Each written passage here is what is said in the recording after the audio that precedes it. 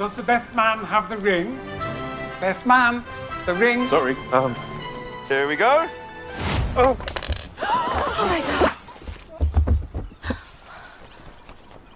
It's the ring essential.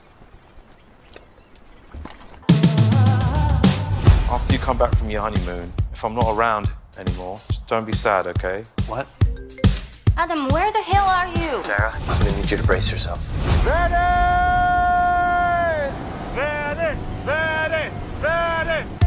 Venice! What's the deal with you and Gav? Some people you just know for so long, they're like family. Do I know you? Your face looks so familiar. Do you do porn? No. Who the hell is this friend of yours? You didn't tell me you were bringing a goddess to the house.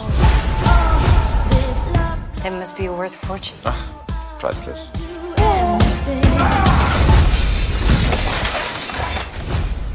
So charming. He looks like James Bond. They're drug dealers. Oh, who hasn't sold a bit of drugs? Not like they're violent criminals. Is that a bullet hole? This needs to be paid for. By insurance? There's no insurance. I have a package that I need to be delivered. And maybe we can forgive the broken heart.